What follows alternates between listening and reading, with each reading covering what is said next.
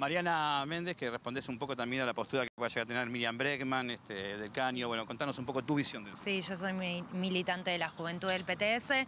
No, un poco como contaba el compañero, eh, escandaloso, con métodos antidemocráticos, quieren sacarnos las elecciones, que es el derecho que tenemos todos los estudiantes a votar.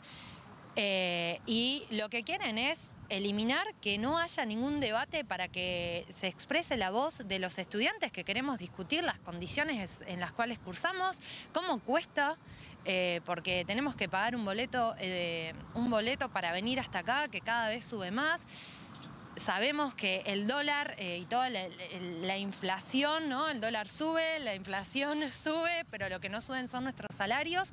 Y eso, digamos, acá que la mayoría de los estudiantes somos también laburantes, eh, nada, la, padecemos y no queremos que nos precaricen la vida. nosotros queríamos entrar a esa asamblea para discutir eh, qué tipo de facultad queremos y, discutir sobre la realidad de los estudiantes, que es por un boleto estudiantil, becas integrales.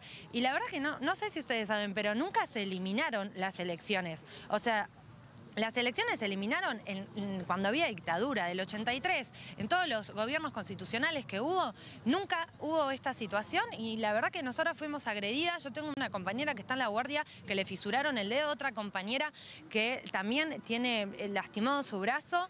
Quisimos ingresar y nos encontramos con patobicas de la Franja Morada que responden a Jacobiti, a Macri, a Bullrich, a Larreta golpeándonos, empujándonos. Bueno, el compañero de acá del Partido Obrero también contará que lo, lo ahorcaron.